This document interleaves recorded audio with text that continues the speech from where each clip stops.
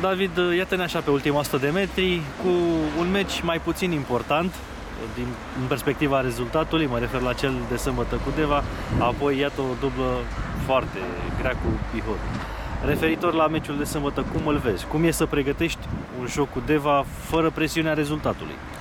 Da, cum ai spus și tu, nu contează rezultatul de sâmbătă, însă noi dorim totuși să luăm cele 3 puncte, să lăsăm o ultimă impresie foarte frumoasă și tu poți să punem la punct jocul de miercuri, pe care trebuie să-l tratăm cu maximă seriozitate.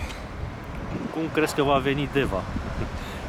Nu știu cum Așa veni. pentru o revanșă, crezi că va veni să lupte pentru revanșă după Da, ce s-a este întâmplat? posibil pentru că este ultimul lor meci. După intră și în vacanță și este posibil să vină să ia cele 3 puncte. Încă nu știu cu ce lot vor veni.